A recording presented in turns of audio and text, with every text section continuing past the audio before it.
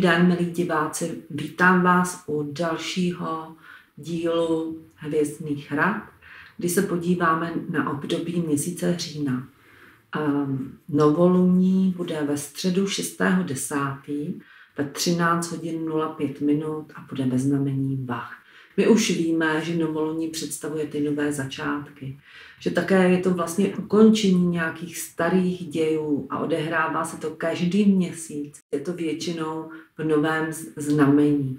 Novoluní eh, je vlastně období, kdy je slunce v konjunkci vedle Luny, takže jsou blízko sebe a ta energie se posiluje. Slunce je ve znamení váh a proto je novoluní Luna také ve vahách. Takže my máme vlastně uh, ukončovat určité děje v našem životě a máme začínat s novými věcmi. No a váhy, ty jsou podle astrologie odpovídají sedmému domu, takzvanému descendentu, a to je oblast partnerských vztahů. A ta, která je velmi důležitá v našem životě, kde se nejvíc učíme, kde jsme nejvíc prověřovaní. A tak vlastně máme využít této době, aby jsme si uspořádali svůj život právě s těmi nejbližšími. Máme se rozhodnout, s kým chceme v životě být, s kým chceme vlastně pokračovat. A je to nejen oblast partnerská, ale je to oblast taky přátelská. Jsou to všichni lidé, kteří jsou důležitý v našem životě, s kterými spolupracujeme, s kterými vytváříme různé nové projekty, nápady a jsou to prostě ti, s kterými chceme jít dál svým životem. Někdy můžeme v období toho novoluní pocitovat takové napětí, tíhu. Mm, vlastně, když je to to znamení vah, tak je tam ta tíha toho rozhodnutí. Já sama mám ascendent ve vahách a můžu říct to potvrdit, aniž jsem to kdy věděla, a před mnoha, mnoha lety, že jsem měla vlastně od dětství problém s tím si něco vybrat. Jo? A jsou to kolikrát i maličkosti, jo? takže vlastně váhy takzvaně zvažují. A to je vlastně energie celého tohoto období, kdy vlastně slunce ve váhách i ta luna. Takže my bychom se mohli podívat, jako vlastně jak máme tento den strávit. Je to popolední, takže mm, si uděláme čas na nějakou meditaci, na, nějaký, e, na chvilku pro sebe a když to nemůžeme zvládnout díky tomu, že jsme třeba v práci, jsme ve škole a tak dále, tak určitě Eh, si uděláme čas večer na sebe. A vlastně ty hlavní témata, to je prostě tvořivost, krása, umění, laskavost, nějaké tvůrčí eh, činnosti, takové zanícení pro něco, pro tvorbu taky uh, oblast, jak jsem již říkala, přátelství, diplomacie, trpělivosti, uh, oslava prostě přírody, všeho, co je krásné.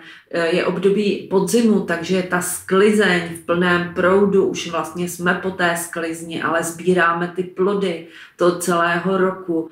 Takže máme taky zvládat to rozhodnutí. Ta rozhodnutí, která jsou před námi, to znamená vlastně ta důležitá, jestli jsme na nějakých rozcestí, kdy chceme jít dál prostě třeba měnit eh, to, co děláme, pracovní činnost, nebo se chceme přestěhovat někam, nebo chceme hm, eh, vlastně posílit naše vztahy, přistěhovat se k partnerovi eh, nebo naopak se rozejít a tak dále. Takže to všechno eh, je dobré ne, že v tomto dni řešit, ale naplánovat.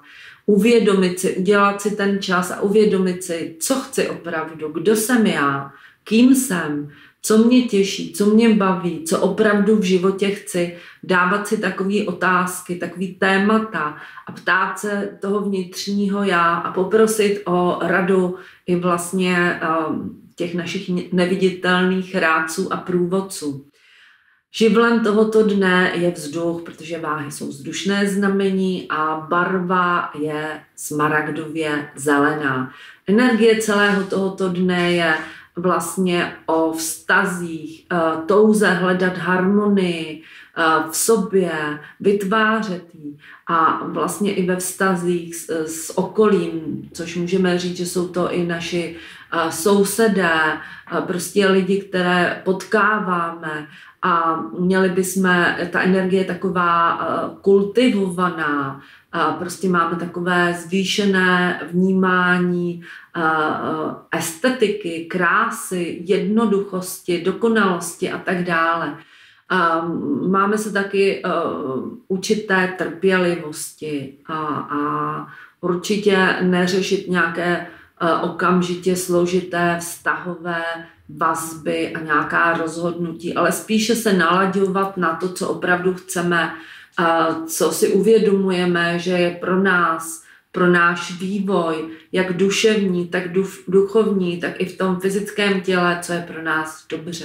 Takže se můžeme naladit i na nějaké eh, vlastně oblasti, které prospívají našemu tělu. Víme, že váhy ovlivňují eh, vlastně oblast ledvin, ale i kyčlí a celé pánve, takže vlastně v tento den určitě se vyhneme nějakým zákrokům, chirurgickým eh, operacím a zákrokům v těchto oblastech. Tuto oblast ani nějak eh, zbytečně teda nepřetěžujeme, dodržuje, dodržujeme samozřejmě také pitný režim, protože období podzimu, tak pijeme spíš nějaké takové zahřívací, teplé nápoje a tak dále. V tento den se také učíme vlastně um, přijímat to, co v životě máme, bez nějakého odsuzování, kritizování.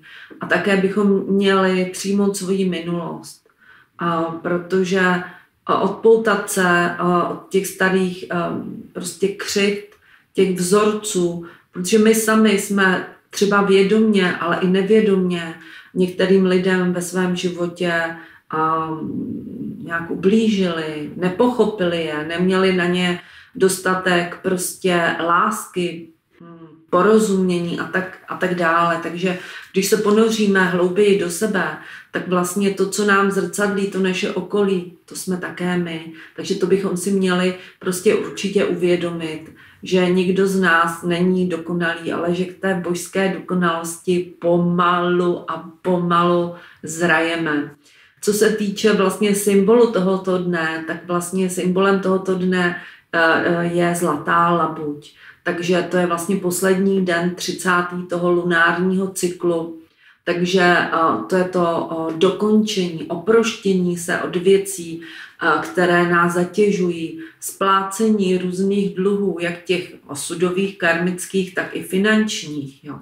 Určitě bychom se měli vystříhat nějaké negativity, negativitě, agresivitě, váhy, chtějí opravdu jako ten soulad, takže určitě se snažíme vyhnout nějakým negativním lidem, situacím, kdy nás někdo někam tlačí a tak dále. Tento den vlastně zároveň eh, symbolem tohoto dne je první lunární den a to je lampa a to je světlo, které nám přináší tento den na tu cestu. Takže my určitě si zapálíme nějakou svíčku, ta barva toho eh, vlastně může být modrá, může být zelená, může být zlatá, jakoukoliv chceme, která je nám příjemná. A ladíme se na vlastně eh, ten svůj vnitřní eh, hlas a ptáme se sami sebe, co chceme v životě měnit, kudy, co chceme vybalancovat, protože víme, že vlastně ty váhy, to je ten balans, to uprostřed, to je ta zlatá střední cesta, kterou málo kdo z nás umí vlastně v životě najít. Takže uh, taky si vizualizujeme nějaká svá přání a prosíme a děkujeme uh, vlastně prozřetelnosti a vesmíru, stvořiteli a těm vyšším prostě um, entitám, které jsou kolem nás. Děkujeme za všechno, co máme v našem životě. A milí diváci, vyberu kartu z velké arkány zlatého tarotu pro kolektivní uvědomění novoluní ve znamení Vach.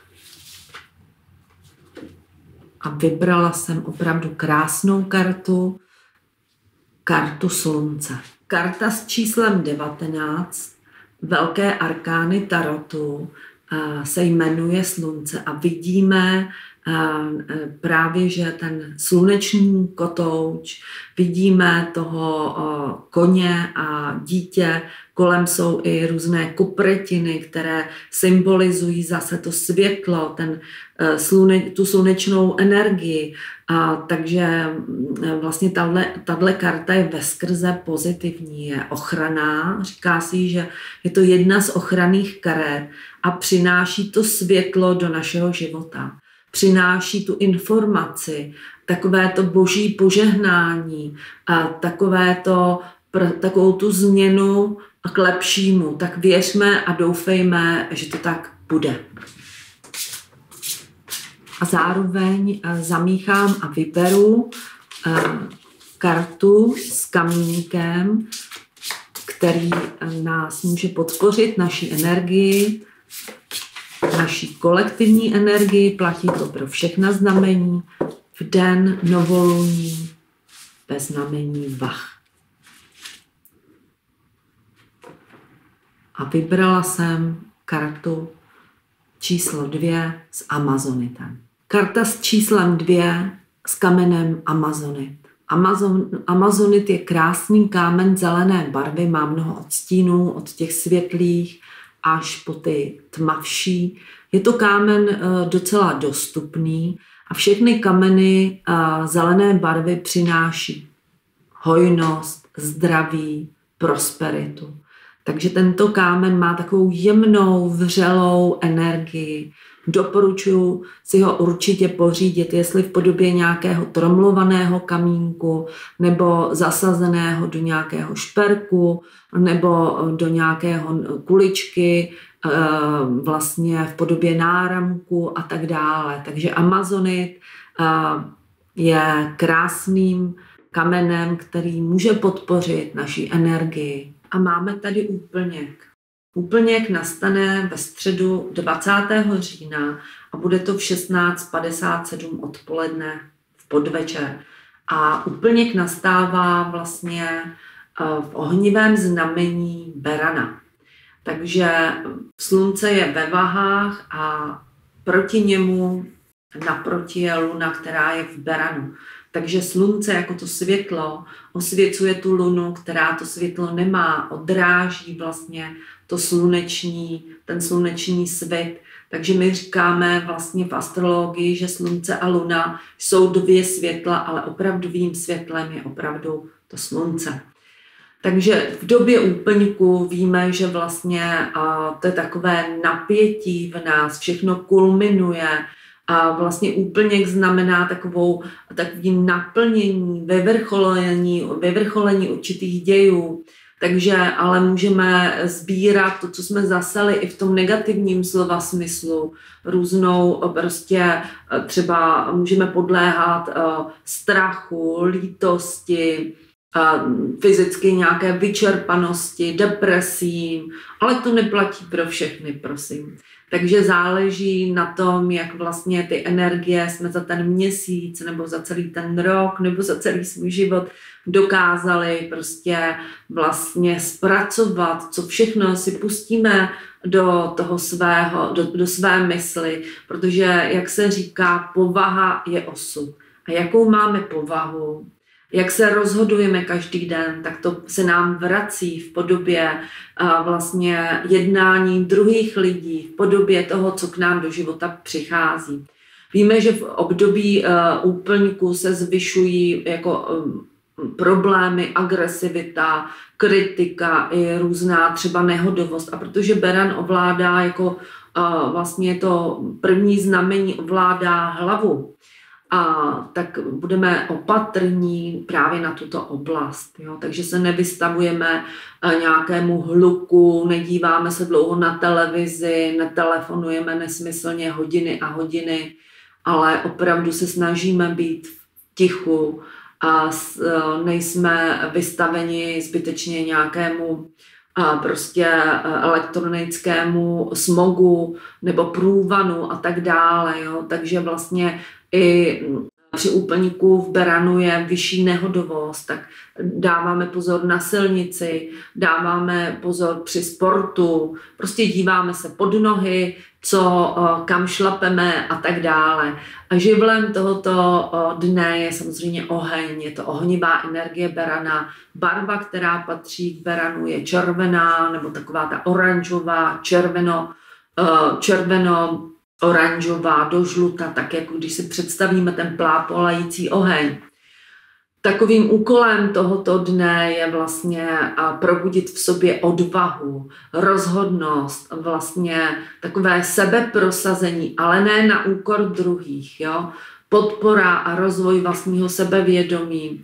Plánujeme nové projekty, vize do budoucnosti. Jak jsem již říkala, energie toho dne je, přeje vlastně takovému ukončování, ale zároveň vlastně začátkům, novým začátkům, jako když odvíjíme tu nit znova pro celý ten vlastně jako uh, měsíc, který je před námi. Takže uh, ten, uh, toto období nás učí vlastně ukončit vše, co nemá nějakou budoucnost v našem životě. Máme si uvědomit svoji sílu, odvahu a vykročit vlastně do toho neznáma, protože nám často odvaha, odvaha chybí a myslím si, že odvaha je opravdu spojená s vírou. S vírou v to vyšší, co je nad námi, ale i s vírou sami v sebe. Jak jsem již říkala, tak Beran ovládá oblast hlavy. Takže pro některé jedince, kteří mají třeba slunce v Beranu, a nebo ascendent, nebo nějaké planety, jako je třeba Mars, Venuše, Luna, Merkur, čili osobní planety, může být tento den opravdu náročný, můžou uh, pocitovat nějaké migrény, bolesti hlavy a tak dále. Uh, právě v těchto oblastech by se neměly provádět žádné uh, operace chirurgické, um, zákroky a tak dále, s výjimkou samozřejmě nějakých potřebných akutních případů, kdy se prostě něco přihodí, tak nelze, nelze jinak. Neměli bychom se vystavovat zbytečnému stresu, tlaku, nějakému vlastně velkému fyzickému napětí nebo pracovnímu. Spíš e, si vlastně dopřát taky chvilku klidu a tak dále. No, ještě bych chtěla říct, že vlastně e, při úplňku bychom mm, vlastně se měli vystříhat taky nějaké stravě, která zatěžuje tělo, čili dát si takový odlehčující den, ovocný, zeleninový, nebo jít, e, pít jenom vodu, a, nebo nějaké bylinkové čaje, to, co máme třeba osvědčené, nebo si necháme poradit, takže tak. A chci říci, že vlastně v tento den je takovým symbolem ohnivý had, anebo se mu také říká šakal. Takže my máme takovou opravdu, uvědomujeme si svoji sílu a víme, že naše duše je v podstatě svobodná a kolik svobody si v životě dopřejeme sami sobě, tak tolik svobody máme. Takže mm, na druhou stranu je dobře určitě si nastavit určité hranice, aby jsme nedělali věci, kdy jdeme sami proti sobě.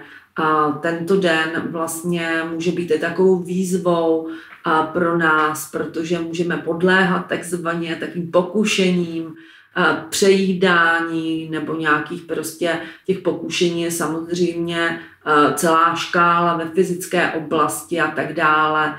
A takže se snažíme tak trošku uh, usebrat, uh, nevyhledávat prostě žádné jako hádky, problémy s ostatními, ale spíš stěšit tu mysl a sklidnit to tělo. Milí diváci, a nyní vytáhnu jednu kartu. Zase je to pro kolektivní vědomí a na úplněk ve znamení Berna co si máme uvědomit.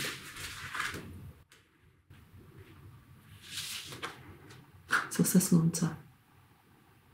Vytáhla jsem opět kartu slunce. Jak jste viděli, poctivě jsem míchala, ale myslím si, že to je skvělá zpráva. Jestliže uh, slunce, tato pozitivní karta, ozařuje i období úplňku, tak bych viděla určité pozitivní změny v naší společnosti.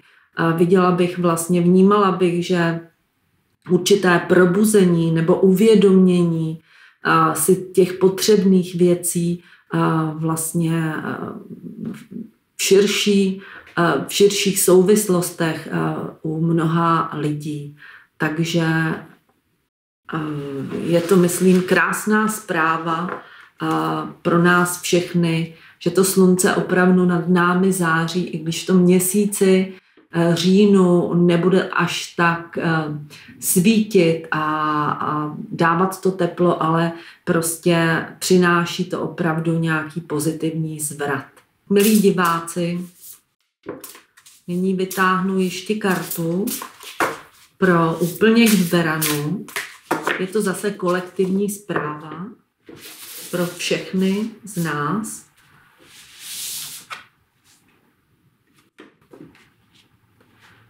Je to lapis lazuli s číslem 30. Posvátný kámen egyptianů. Lapis lazuli představuje temnou oblohu a v ní zlaté hvězdy. Je to krásný posvátný kámen starých národů, egyptianů.